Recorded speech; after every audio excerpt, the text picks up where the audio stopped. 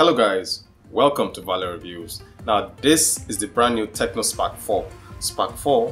Why is it called the Spark? Oh my god, it actually sparks.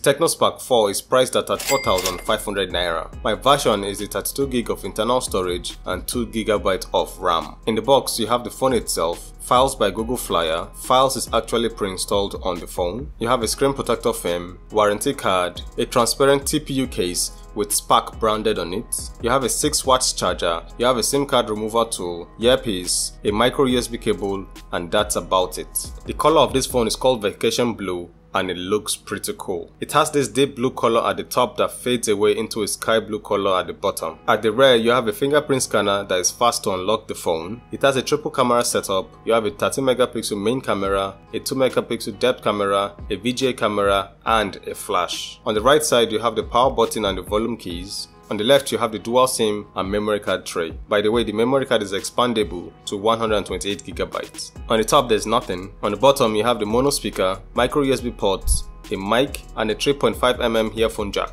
At the front of the device, you have a 6.52 inch IPS LCD display, and inside that notch, you have a 8 megapixel camera. You also have a flash, the earpiece grill for receiving calls, and a proximity sensor which is hidden somewhere in there. Like I said earlier on, you have a 6.52 inch IPS LCD display. It's a 720p display with a resolution of 720 by 1600 pixels. It shoots out 60 million colors and has a 81% screen to body ratio. It has 269 pixels per inch and colors are decent as you would expect from an LCD display. The Tecno Spark 4 is rocking a MediaTek Helio A22 chip. It has 2GB of RAM and 32GB of internal storage. Right from the box you have 24GB of available storage and if that's not enough for you, you can always pop in a memory card and expand your storage to 128GB. Without opening any application, the phone has about 0.94GB of RAM available. The Spark 4 can handle 2D games easily. You can play PUBG on this device but you should expect the occasional hiccups. This Tecno Spark 4 is running HiOS version 5.5 on Android 9.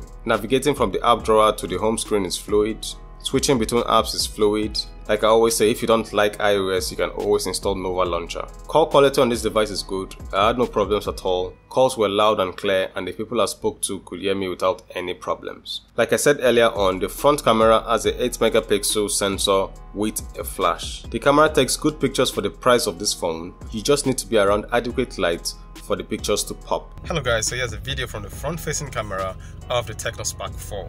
It shoots in 1080p at 30 frames per second. So what do you guys think about the video quality coming out from the front facing camera of this phone?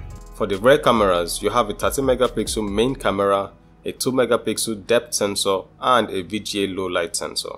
Here are some of the samples taken with the rear camera.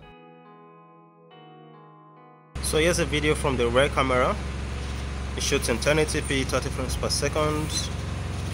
No form of image stabilization here so you have to be steady so what do you guys think about the quality Battery life on this device is decent. It has a 4000 mAh battery that should last you the whole day.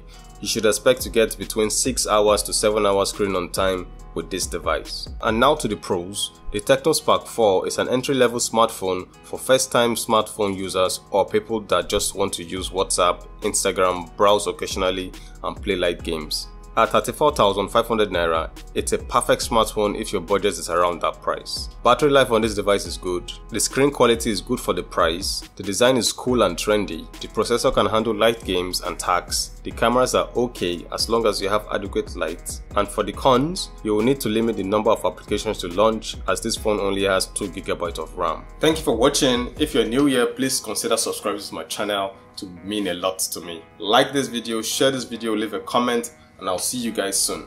Valor, signing out.